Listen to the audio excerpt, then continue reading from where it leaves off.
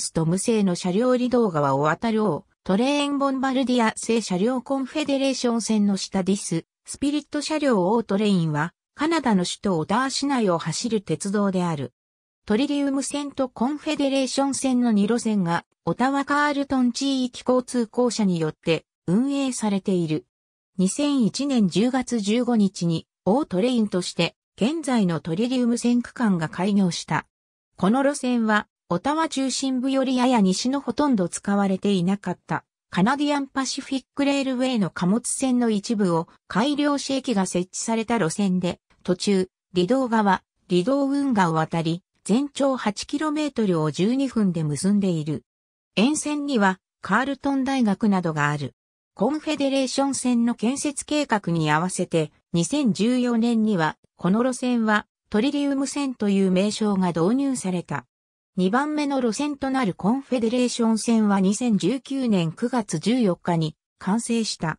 この路線は超低床車両が運行され、中心部の一部区間は地下鉄となる東西線が新規に建設されたオタワ発の本格的なライトレール路線である。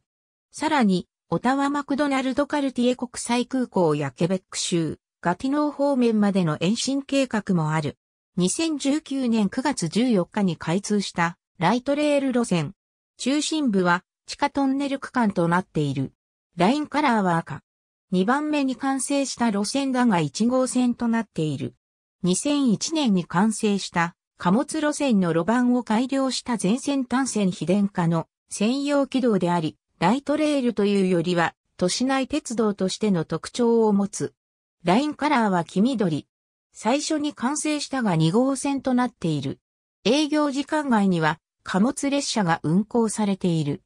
交換可能駅は中間駅のカールトン駅のみ。奇襲点のベイビュー駅及びグリーンボロ駅ではオタワのバスシステムであるオタワトランジットウェイと接続している。全駅全車バリアフリーで自転車の持ち込みも可能である。現在は12分間隔で運行されている。